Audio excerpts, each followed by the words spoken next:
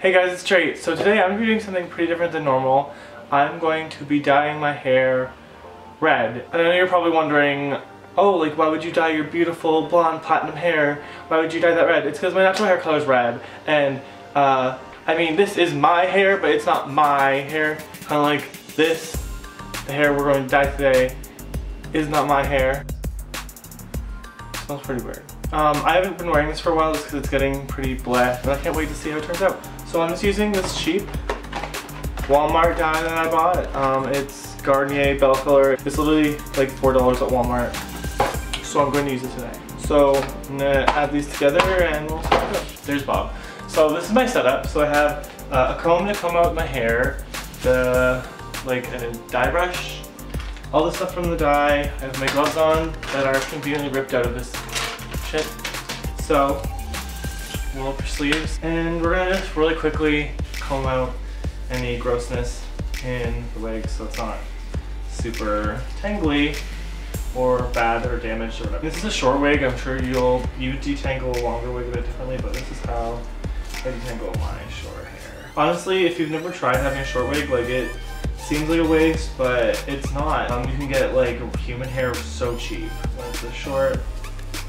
I I paid like $60. I ordered this one off Amazon. I suggest you start you buy them from the store because like, I mean, I don't hate this hair I'm wearing, but just the fact that it's not human hair and I paid like the same price as this, you know, it just feels like a ripoff. So I'm just gonna buy another one of these next time and then bleach it to this color. And that's actually what I like about human hair is you can change the color. Like they say, blah blah blah, but like honestly, I've changed the color of like more than one wig. I've dyed, here I'll show you. Um, well, this is the only other one, really, but I've dyed this one before. I've dyed, I lightened this a little when I first got it. But I also dyed this one, like a blue. I wore it in my bathtub video, actually. I dyed that with, like, Blue Manic Panic after I had bleached it. Um, so, you know, it's like you can reuse these or turn them into whatever color you want whenever you border them. Like, I just bordered this one and I want it to be red because my natural hair color is red. So you're gonna mix this like any other box dye. Um, just open the thingy up, smell them chemicals, pop it, and then just squeeze all the gross shit in the tube. I mean, you the gross shit out of the tube. My bad. So I'm hoping this does turn out like my real color. I don't think it will, sadly, um, just because my real color is pretty awesome and is just like a shitty orange dye. Is that? Alright, let's get the dyeing. Ugh. Real close up. Okay. So I always start from this very top part because it's what I count the root as. Um, because realistically there's no lace or anything on this. There's no lace on this unit, right? So, um, you know, in, in pictures, in pictures it's looking coming up pretty orange right now, so I'm sure this will look great, but it's a lot more blonde in real life. Uh, I don't know why this looks so red. It's like a strawberry blonde. Shaking up the shit. Realistically, I could just put this um, right directly in the hair, but I like to use these brushes just because they make application a bit cleaner. But I'm going to put this right in here and then spread it. So yeah, so brush. Maybe wig ready to play. I'm just doing this way. I always start right at the part, and then it just kind of off Whatever. I'm really excited to do this actually because I've I used to have my hair, a natural color. Um, so so easy.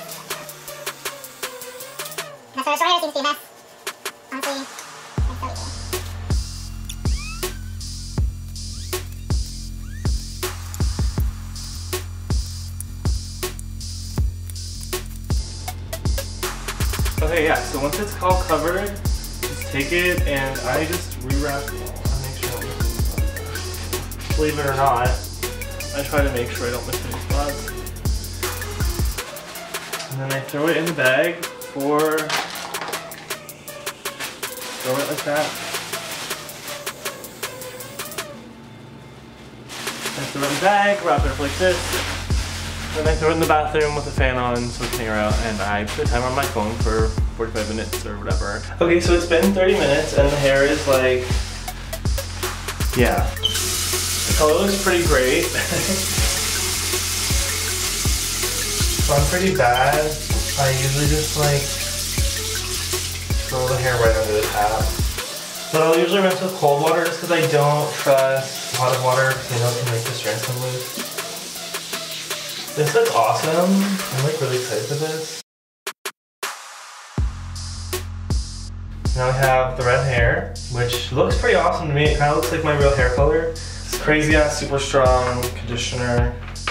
It's really good for damaged hair, which is exactly what this hair is. At this point, probably everybody's just like shitting their pants at me having this wig like this, but whatever.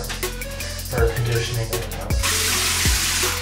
Okay, there she is. So she's all rinsed out. The hair color is looking pretty awesome if you ask me. I'll let you guys know how it turns out when it dries.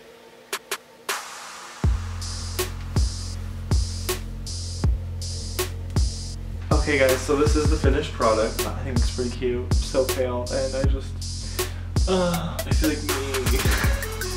I don't know. I think the red hair is gonna stay for a bit. Um, hope you guys do too.